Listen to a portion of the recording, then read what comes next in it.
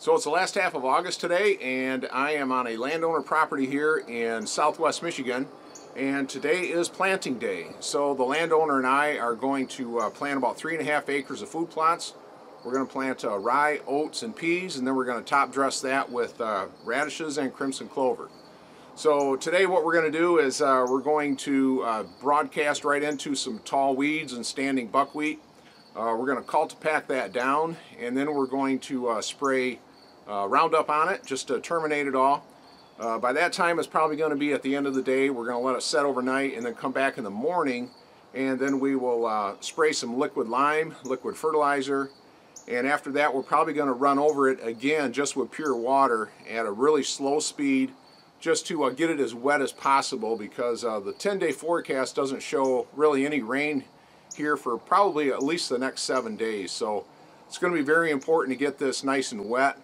Um, the liquid lime and liquid fertilizer is going to give it a jump right away, much faster than what granular can do. And so with the added water afterwards, it should really keep it wet with that mat of um, you know biomass on top of it.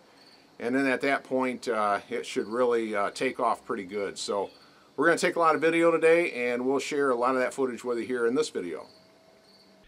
So just to give you an overview of this property and why food plots here are so important is you can see that on this about 160 acre property, uh, we have a lot of water, a lot of swamp, a lot of edge. Uh, you can see a lot of these little peninsulas, really defined uh, elevation changes here as well. You can see here this is a high spot and it goes down to the swamp. A lot of cattails. Deer can actually cross through here. Uh, but when the water's high, you know, they may not go through there as uh, quickly. It is high in the spring, not so much so, though, in the fall. Uh, but you can see you got another, you know, big lake down here, more cattails, swamp edge, uh, you know, just swamp grass. Got an island here, we got an island there, we got a peninsula here, another peninsula here, high ground right here where we got food plot, a food plot here, and a little a little finger right down in this area you know, more swamp over in here. So there's just a ton of edge on this property. And, you know, buck movement should be fairly predictable on this property. But, you know, going to have to hunt this thing uh, very carefully because, uh, you know, there's not much room for error because, you know, a lot of this 160 acres is taken up by water and swamp. Hunting this property in the wrong spots at the wrong time the landowner's really going to be able to sour this property pretty quickly. So, going to have to hunt this thing very smart. He's got quite a few neighbors here that touch his property along the west side. He's got a few here along the east side, but this is pretty much impassable because of the uh, the deep water and the swamp grass and the cattails. It's just pretty much no man's land.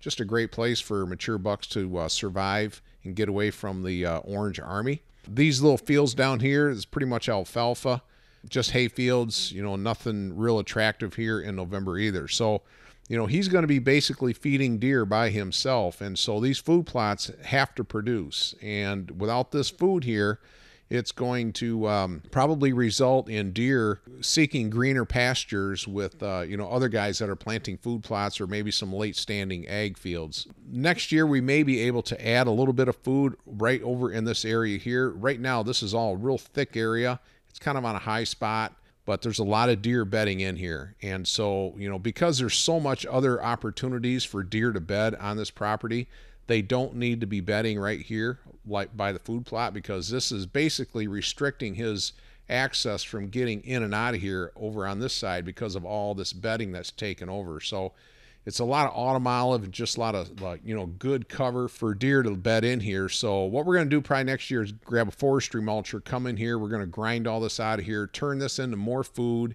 and that'll give the landowner another opportunity to hunt some uh, food plot edges at the right time and uh, take away the bedding so that he can actually get in and out of here and then come down here along the uh, east side here along the river to get some more access. So this food plot right here is about a three acre total. Uh, this one here is about two and a half acres, and this one here is uh, not even an acre. So we've got to make the most of the ground that we have available and just make sure that we've got good food well into the season. And the food plot that we're going to be planting today in this video is going to be this uh, three acre uh, field right here. This is actually a low spot in the field and this is high ground right up in here. So the other thing I just want to mention real quick here is you'll see the uh, orange and red stars and, and we got the white stars. So what that is, is the orange stars are stand locations where the landowner can hunt any time of the season but these red stars are hunting locations that he should not hunt until the pre-rut starts around October 26. That's when he can finally get into the red stars. Um, this is out on a peninsula.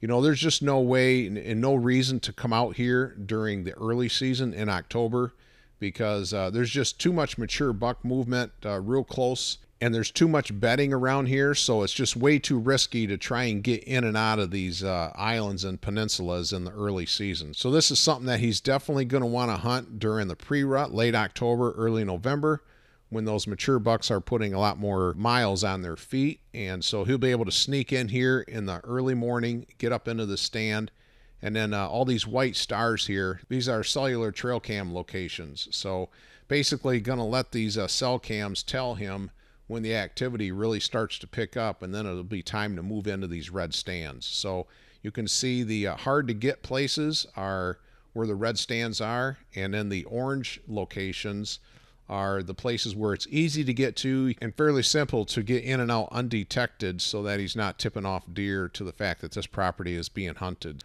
So now that you know how this property sets up a little bit, let's get back to planting food plots.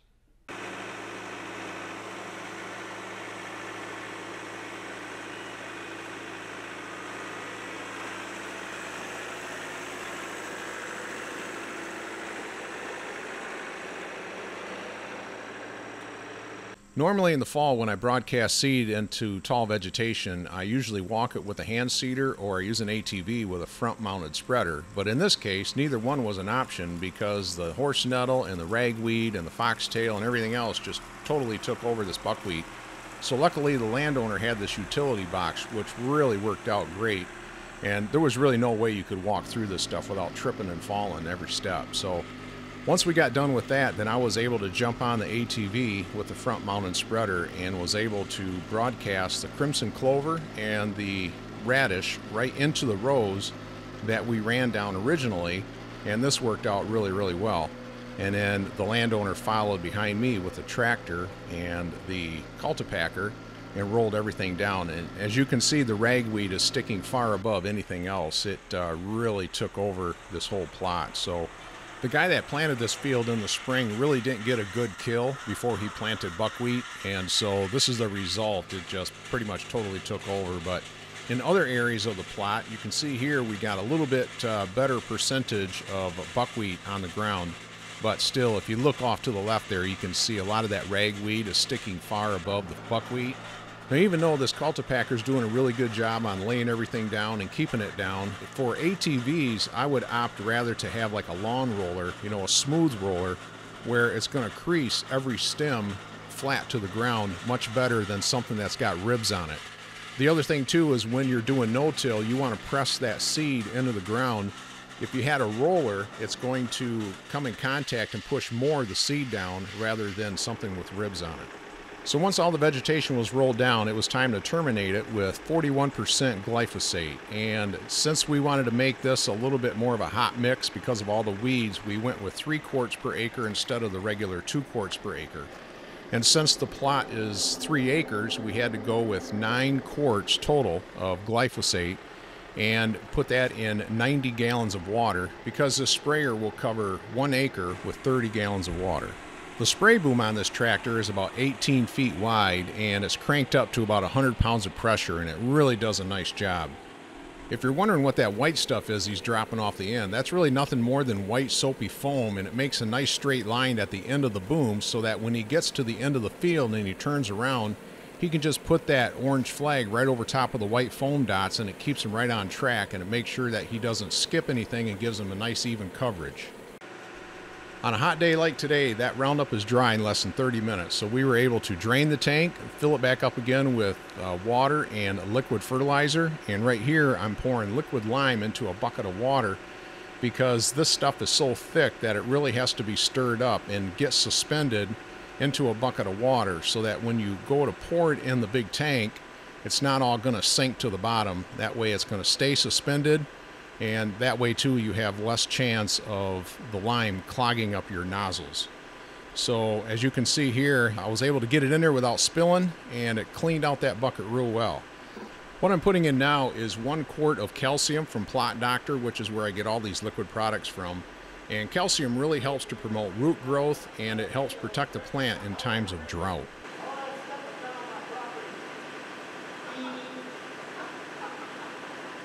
We were having such a good time planting food plots that we almost forgot to fill the tank up the rest of the way. So we had to put the hose back in, get it filled up, and it was back out onto the field. We had to fill the tank up all the way because when you spray liquid lime, fertilizer, and calcium over top of vegetation, you're going to want really good coverage, and so it's going to take more water per acre than it does when spraying Roundup. And so when we got done with this, then we also went over it again with just pure water just to really get it saturated. Then seven days later, I came back to see how everything was doing, and it looks like we got a really good kill. So when I peeled back a bunch of that dead thatch laying on top, uh, looks like we got some pretty good germination. Looks like in this spot we got uh, a few peas that have germinated already and are starting to send up some shoots. And so everything is looking real good. It was nice and moist underneath that mat. It was early in the morning, and uh, we hadn't had any rain yet, really, to speak of. So I was really encouraged to see that all that horse nettle and ragweed and foxtail and grasses had all died and it was really providing a nice layer of protective mulch over top of all that seed. Then I arrived back again on September 16, which is 27 days after planting.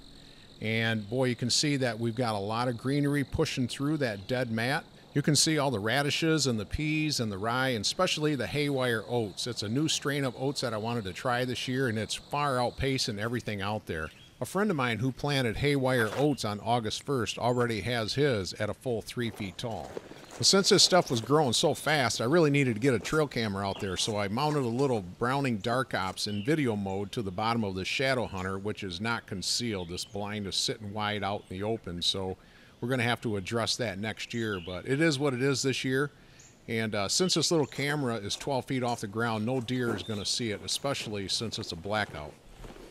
So the following week, which would be five weeks after planting, I showed back up again to spread another 300 pounds of winter rye grain on this three acre food plot. And so this is really going to give this food plot another wave of fresh growth, which is going to last longer into the hunting season. The deer are going to paw through the snow to get at this rye all winter long, and it'll also be the first thing to green up in the spring and then also become really tall in May and June and provide some excellent fawning cover. So now that it's been a week, I'm going to pull the card and see what kind of action we've had here on this food plot.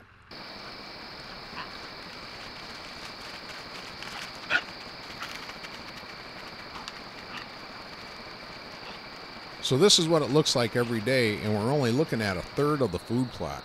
Looks like the landowner is going to need to shoot some does to balance the herd out a bit. That'll preserve his food plots longer into the season, reduce social stress, make his property easier to hunt, and make for a more intense rut when you have fewer does to go around. I've been getting a lot of texts and emails from landowners concerned about not seeing any mature bucks yet.